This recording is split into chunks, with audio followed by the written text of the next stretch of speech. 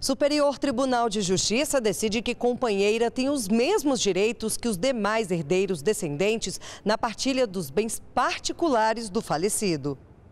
O caso chegou ao STJ em recurso do Ministério Público do Rio Grande do Sul contra a decisão do Tribunal de Justiça do Estado, que concluiu que o casamento e a união estável deveriam ter tratamento diferente e que caberia à companheira receber somente a parte da herança igual ao dos filhos em comum do casal. Nesse processo analisado pelos ministros da Corte, a mulher viveu em união estável com o falecido de 1977 até o dia em que ele morreu, no ano de 2012. Durante o relacionamento, os dois tiveram um filho. Além desse filho, o homem já tinha outros seis. A ex-esposa queria dividir os bens de forma igual com todos os herdeiros.